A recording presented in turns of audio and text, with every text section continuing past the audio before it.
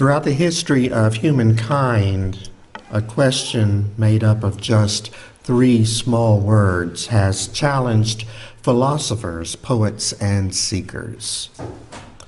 The words are, Who am I? They lay beneath the ancient Greek inscription, Know Thyself, on the Temple of Apollo, which was built centuries before Christ was ever born and they inspired my own generation's rock anthem, Who Are You, written by Pete Townshend of The Who. The theologian Frederick Buechner once wrote, It is important, at least, to tell from time to time the secret of who we truly and fully are, even if we tell it only to ourselves because otherwise we run the risk of losing track of who we truly and fully are, and little by little come to accept instead the highly edited version, which we put forth in hope that the world will find it more acceptable than the real thing. I don't know about you, but I have found that I am more inclined to fool myself into believing in my highly edited version of myself if left to my own devices. And so the only way I can truly and fully know who I am is when I am in community with others. And the only way I can be in community is to feel as if I belong. There are many layers to this morning's story of the prodigal son, and a unique and important lesson can be drawn from each of those layers. One of those layers, the one I want to reflect on this morning with you, is about community and belonging. Our reading opens up with some people who were so devoted to their interpretation of God's instructions for right living that they had lost touch with the humanity of their sisters and brothers. You see, as they interpreted it, their law insisted that the way one kept oneself pure and blameless before God was to make sure you hung with the right crowd. And the right crowd definitely did not include tax collectors and sinners.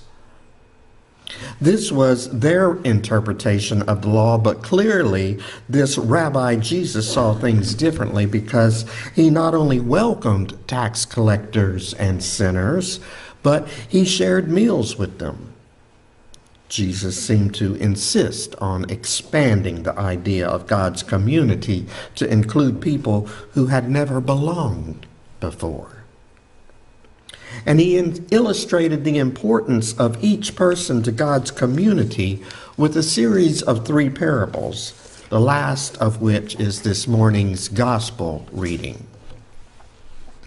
It's a parable that's rele- relevant to our own time because our world is just as obsessed as were these ancient people about who belongs and who doesn't belong in God's community.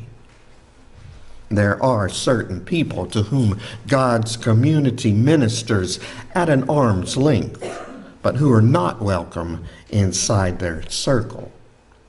Drug addicts and alcoholics, homeless people, undocumented immigrants, people living with HIV, lesbians, gays, bisexuals, and trans folk. These people, who are in fact you and me, are the 21st century contemporaries of our readings, tax collectors and sinners. And we are also the young son whom Jesus told about in this morning's parable, who went off to a foreign land in search of himself. You see, this young man, left to his own best thinking, came to the conclusion that he was not a small town loser like his father and brother. He was more than that. But he felt he would never fully realize his own potential until he made his break from his family roots.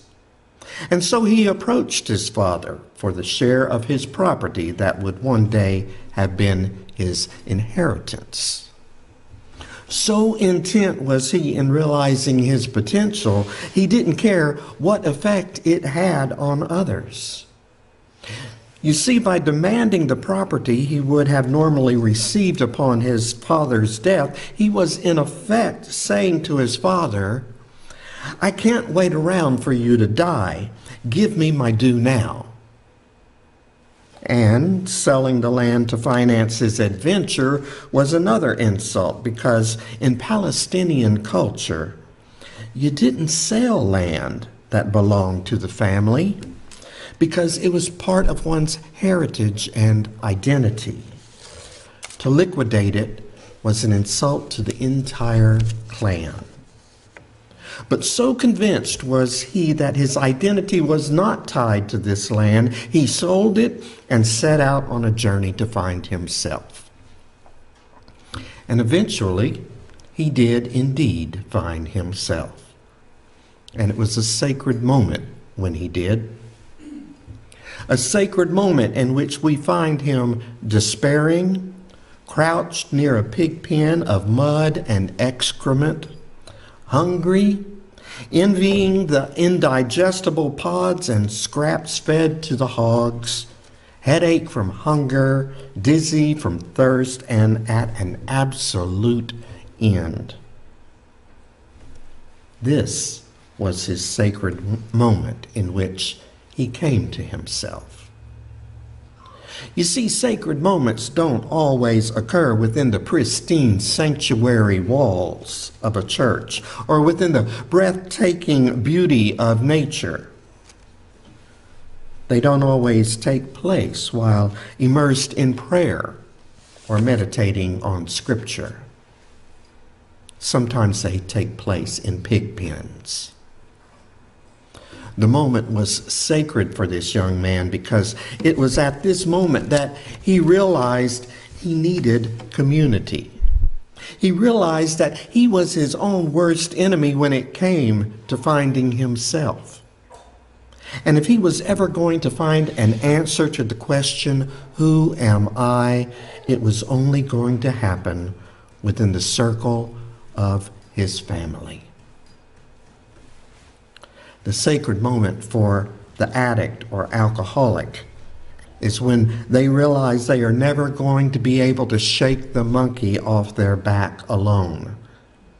Having tried it so many times and failed, they come to themselves and seek out help from people like themselves. The sacred moment for a person living with HIV is when they are sick and tired of hiding from the world their status, never able to talk to anyone about the feelings that go along with their condition. And they come to themselves and walk into a support group of others like them who have chosen to live with the disease without being defined by it. The sacred moment for the lesbian, gay man, bisexual, or trans person comes when they can no longer exist within the confines of fear, of within the confines of their closets of fear and low self worth. And they finally come to themselves and seek out others like themselves who are living authentically and fully as God intended for them to live. Sacred moments occur in emergency rooms where people are having their stomachs pumped from an overdose. They occur while looking at one's battered and bruised face in the mirror, made that way by someone who claims to love them. And they occur in pig pens. Each sacred moment, accompanied usually with the words, How did I end up here? And that's when we come to ourselves and seek out the healing and wholeness that comes with being in community. I've heard people say many times that they don't need to come to church to worship. They can worship God in the privacy of their own home or within the solitude of nature. And that's true, I tell them. But you can't be in community alone. You can't be in community. Well, eventually the young man made his way back home to his family. It wasn't a perfect family. On one hand, his father was overwhelmingly gracious and merciful, embracing him and shamelessly in love with the boy. But on the other hand, his brother was resentful of him, jealous, and envious of his father's attention. It wasn't a perfect family, but it was home. And it was there that he at last came to understand who he really was.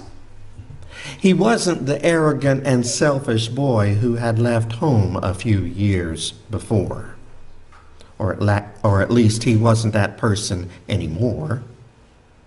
And he wasn't the worthless failure who had returned home with his tail between his legs. He wasn't undeserving of his father's love, as his brother claimed. He was a new creation, as the Apostle Paul says it, loved by his father and celebrated by the community. I think Central Texas MCC is a place like the young man's family.